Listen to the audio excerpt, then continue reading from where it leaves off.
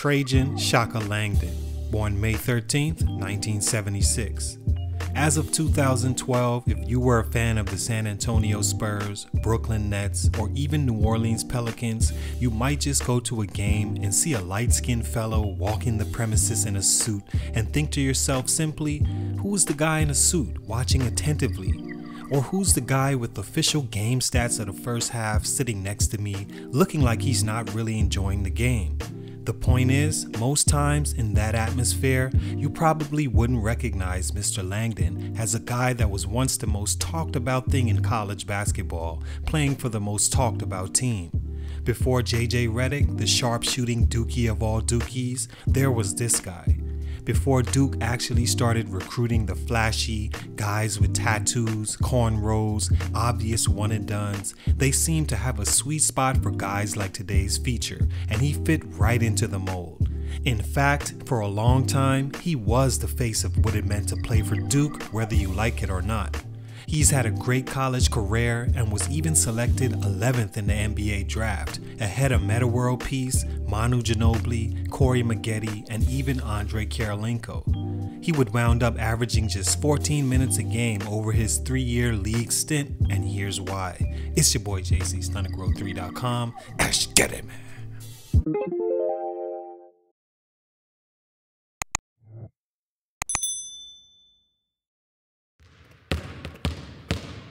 Stunt number one, Dookie Dookie. Hey man, where my Dookie go? Like probably go up in the air and like evaporates and then turns into the cloud or some. A Dookie cloud. And no, not the way you're probably thinking, because as a Blue Devil, Mr. Langdon was anything but, you know, Dookie. He actually became one of the best scorers of all time for the program and was the program's leader for threes made until the pale whale JJ Redick came along. He fit that 90s Duke and Coach Krzyzewski system to a T, maybe better than anyone not named Christian Laettner. Speaking of that system, many people wonder why so many Duke players become cheeks in the NBA. This stunt in Langdon's career is all you need to hear to answer that puzzling question. When we think of amateur basketball, especially college, we think of a place where you go and immediately you fall into a hierarchy where you know exactly who's above and below you. You know that the head coach is to be respected as your father, for lack of better words. Any and everything he says goes, and he's never to be challenged by anyone. The upperclassmen are next, unless they suck and a freshman or sophomore is better. In that case, the best players are next. There's the other coaches, then the guys on the end of the bench who rarely take their warm ups off and can't wait for the game to end so they can go shake some beer pong table at some frat party. There's a system that's built around said star players that's very simple. Give them the ball where they like it, get out of the way, and unless you somehow become better than them over your four years, respect it or transfer. The coaching staff's job is to create opportunities for them. They picked this school because they knew that, and for all parties, it fits like a glove. They build a familiarity with the student body, and for their time there, they're the man on the campus, comfortable, fat, and happy. In most cases, said star player doesn't even have to be the best in the nation, best in the conference, or even the best on the team. They just have to fit the system, and they can look as good as they need to. The things wrong with that is this it's a setup. It doesn't prepare you for the next level. You become so comfortable and used to being the man that you neglect the things that's going to make you excel on the next level. Because you're bringing in so much coin for that program and the ultimate fat and happy head coach, you're never told to adjust. Your broke jumper is never fixed. Those YMCA handles are never worked on. They don't let you know that you're out of position and should change your game a little because your changing your game changes the fit and it doesn't work for them. To me, that's what happened to Trajan Langdon in a nutshell.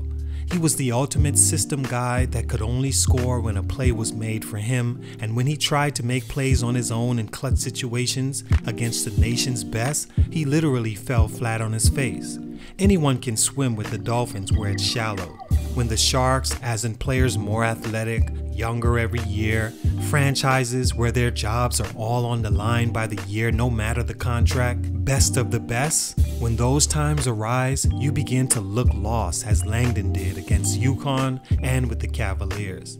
He was too system of a player and never developed individual go get it skills, killer instinct where you have to scrap for yours, and a confidence that in a room full of vultures, you know how to move. Choosing Duke couldn't have went better for Langdon while he was there, not so much when he wasn't. Stunt number two, fried. Another byproduct of choosing the right system only because it's the right system and not developing your game further is it sets you up for your deficiencies to be exposed on a national level where you aren't protected by a loyal fan base or a staple coach or a system. When you can't guard your assignment on a nightly basis, it'll be hard for you to find any sort of footing on a level where coaches and everyone else's jobs are on the line. They literally have employed staff that's keeping track of how bad you really are and how much you're either hurting or helping the team. Langdon has been a star since his high school days in Anchorage, Alaska, and all through his stellar career at Duke. He was dubbed the Alaskan Assassin because of how deadly his jumper was in college. If you let him get any sort of space off a pin down or flare screen, you were toast. He had the ultimate green light and developed the ultimate confidence in those situations. His problem always came on the defensive end. Langdon couldn't guard the ketchup at a Waffle House, a merry-go-round in a food court, a snowflake in July. Wait. Oh, this. Anyway, you get what I'm saying. He just didn't have the defense to stop guys at the highest levels in the NBA. And when a coach's job is threatened by your lack on defense, after seeing you let Dana Barros go by you for a fourth straight time, or you're definitely having a seat next to the rich weird guy that paid to sit on the bench and sniff players as they check in. Duke hid those facts, so when he was already in the fire in the NBA, it was too late. He also dealt with a knee injury that made him redshirt his true sophomore year, so that could have been the reason why he couldn't guard Julian Newman's sister. Either way, it hindered him getting the time on the floor he wanted and ultimately shortened his NBA career.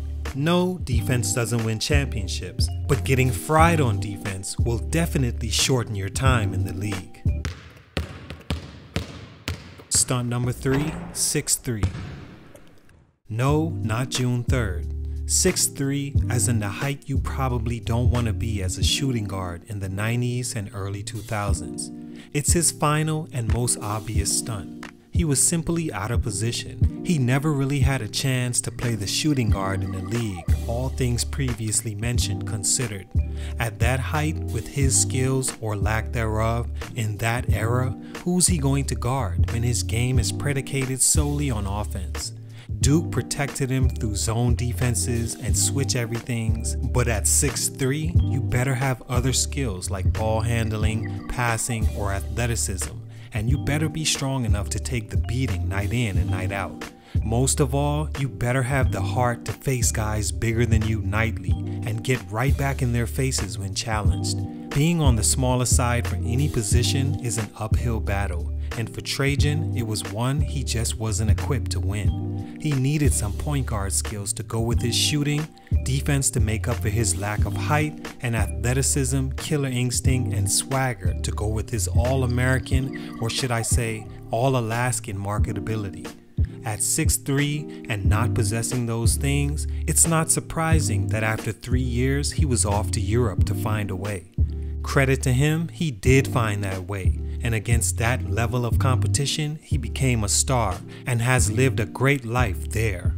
He did have the chance to return, but with him being a smart man, I think he understood his deficiencies and decided to continue the success he was having overseas. Since 2012, he's been working an NBA front office job and as of last year, the general manager for the New Orleans Pelicans, and is doing quite the job for the franchise. All in all, I respect Trajan Langdon's game, also the decisions he's made, the man he's become, and for never making it ever about him. The ultimate team guy and seems like a great person. You may have laughed at some point through this video, but trust me, it was never to disrespect him in no way. Salute to him and all the success he's been having. I wish him nothing but the best. Continue doing a great job in your suit and tie. It's your boy JC Stuntedgrowth3.com, and I'm out.